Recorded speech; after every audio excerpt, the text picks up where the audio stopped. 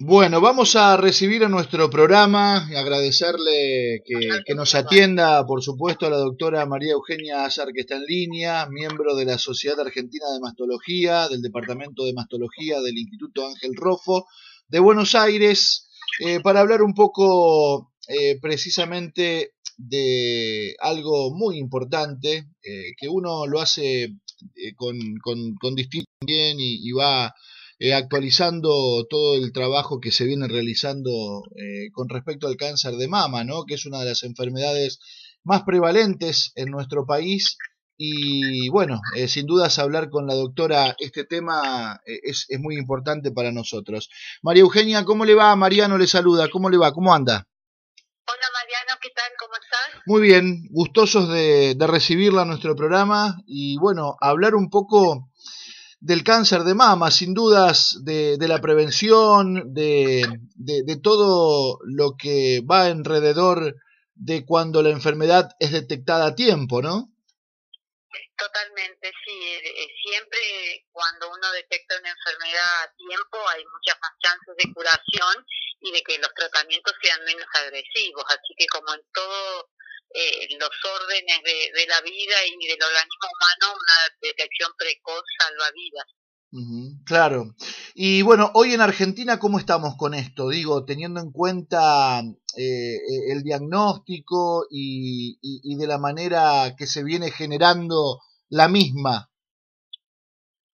Eh, bueno, eh, en la Argentina, digamos que tenemos eh, lamentablemente la misma incidencia que los países desarrollados en cuanto al cáncer de mama, en cuanto a casos nuevos de cáncer de mama, es como en Europa o en Estados Unidos prácticamente.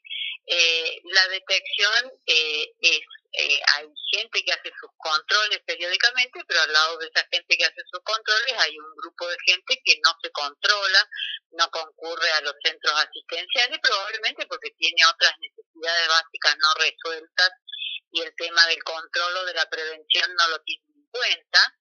Eh, Así que bueno, siempre ahora, eh, cuando empieza el mes de octubre, que es el llamado mes rosa que decimos nosotros los mastólogos, siempre es bueno recordar que aun cuando uno no tenga síntomas, no toque un bulto, hay que consultar. La idea es llegar a la consulta en la etapa presintomática, ¿no? Cuando uno se toca un bulto ya el tumor creció bastante.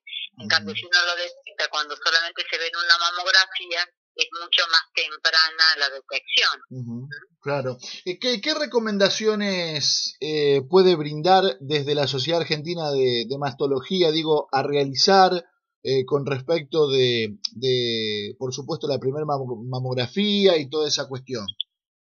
Bueno, eh, a ver, eh, para la población en general es una mamografía anual a partir de los 40 años si uno tiene antecedentes familiares pesados, madre, hermana, abuela, tía con cáncer de mama, que uno supone que puede haber algún tipo de alteración genética, ahí los controles deben empezar 10 años antes del cáncer del familiar. Es decir, si tengo una mamá que tuvo un cáncer a los 40, tendré que empezar a los 30 eh, más o menos, y con determinado número de controles diferentes, porque también hay que hacer resonancia y otras cosas. Pero en general, para la población en general, es una mamografía anual a partir de los 40 años.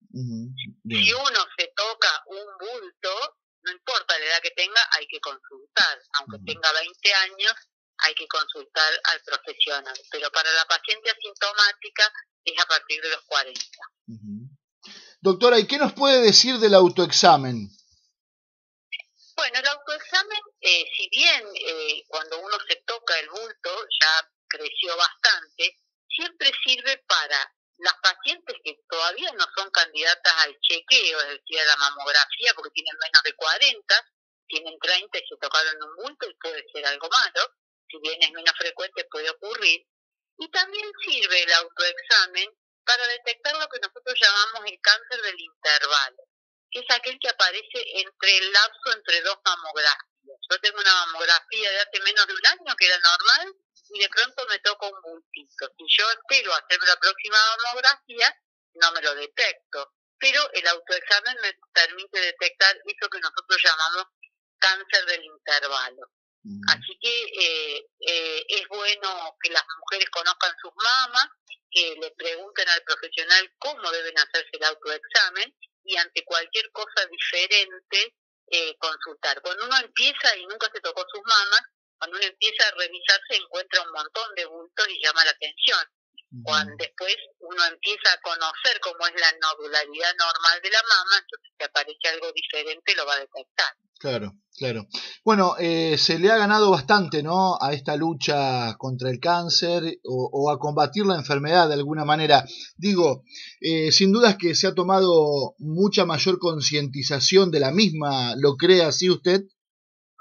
Sí, yo creo gente hoy tiene tiene más conciencia, no tiene tabú en hablar del tema. Todos tenemos algún familiar cercano o mm. amigos o amigas que han mm. pasado por esto, no se oculta como se ocultaba antes, que no se hablaba de la palabra cáncer, eh, entonces hay consultas más tempranas, diagnóstico más temprano y tratamientos más efectivos también, con lo cual, eh, si bien nos falta mucho para ganarle la pelea al cáncer, eh, las tasas de curación son cada vez más altas exacto.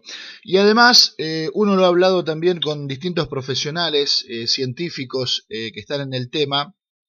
esto se lo quiero preguntar a usted también. Es que se ha avanzado muchísimo en la República Argentina también con respecto a, a distintos tumores. Y bueno, lo del cáncer de mama creo que también lo mismo. Digo, en en, en, lo que sea ya con respecto a la detección, a, aparatos y, bueno, por supuesto también a, la medicación en general. Digo, se ha crecido, se ha avanzado, ¿no? Sí, sí, muchísimo. Mm. Eh, en cuanto a métodos de detección, cada vez se detectan cosas más pequeñas. Claro. Este, porque hay métodos de detección más sensibles y los tratamientos también son más efectivos. Exactamente, exactamente. ¿Algún mensaje, doctora, que nos quiera dejar? Bueno, el mensaje que, que consulten al médico ante cualquier duda, que hagan sus controles aun cuando no sientan nada.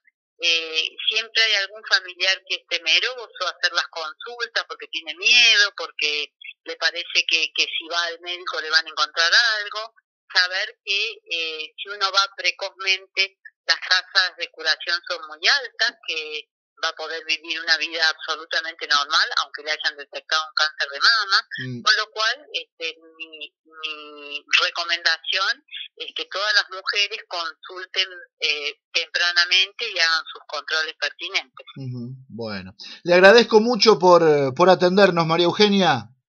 De nada, esperemos que haya servido para la gente. Gracias. Eh. La doctora María Eugenia Azar eh, con nosotros. Eh, charlando en la radio sobre cáncer de mama, miembro de la Sociedad Argentina de Mastología, del Departamento de Mastología del Instituto Ángel Rofo de Buenos Aires.